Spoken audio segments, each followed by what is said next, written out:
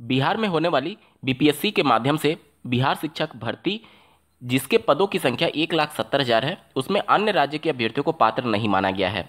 बावजूद इसके अगर अन्य राज्य के अभ्यर्थी माननीय पटना हाईकोर्ट का दरवाज़ा खटखटाते हैं तो निश्चित तौर पर उनकी जीत होगी, क्योंकि इससे संबंधित पहले भी मामले उत्तर प्रदेश में हो चुके हैं और उसका कोर्ट ऑर्डर है और उसी के बेस पर माननीय पटना हाईकोर्ट अन्य राज्य के अभ्यर्थियों को मौका दे सकती है। इस वीडियो में मैं ये मान करके चल रहा हूँ कि अन्य राज्य के अभ्यर्थी पूरी तरीके से एलिजिबल हो जाएँगे अगर पटना हाईकोर्ट में याचिका जाती है तो।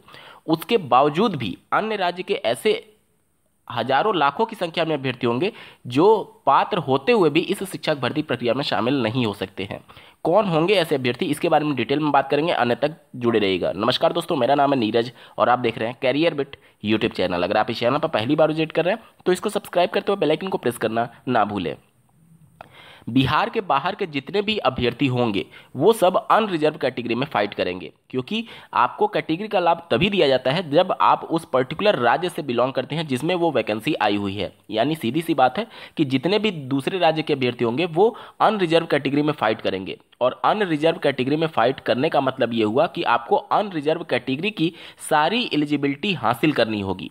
चूँकि प्राथमिक स्तर की शिक्षक भर्ती कक्षा एक से पाँच के लिए आपको बी टी या फिर सी टी मांगा गया है, जिसमें अन्य राज्य के जो अभ्यर्थी होंगे, ज़ाहिर सी बात है उनके पास बी टी का सर्टिफिकेट नहीं होगा, उनके पास सिर्फ़ सी टी का सर्टिफिकेट होगा, जिसे आप सी के नाम से जानते हैं। तो आपको अनरिजर्व कैटेगरी के हिसाब से सी का क्वालिफाइंग मार्क्स अचीव करना होगा इस शिक्षक भर्ती में सम्मिलित होने के लिए।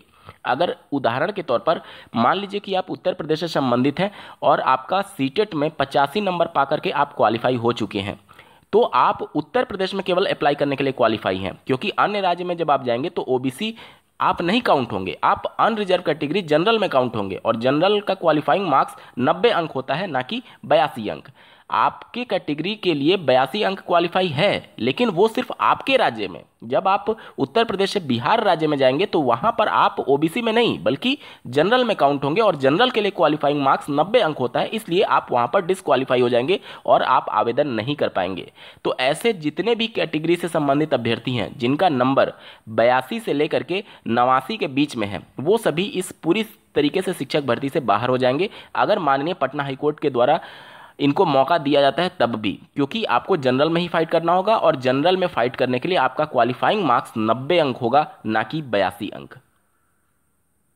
दोस्तों, अगर आप अन्य राज्य से संबंधित हैं और किस प्रकार से माननीय पटना हाईकोर्ट में केस के माध्यम से आपको जीत मिल सकती है, या फिर क्या इसका ग्राउंड है, इसके रिगार्डिंग एक डेडिकेटेड वीडियो के माध्यम से मैंने डिटेल में बता रखा है, जिसका लिंक आपको इस वीडियो के डिस्क्रिप्शन में दिया गया है।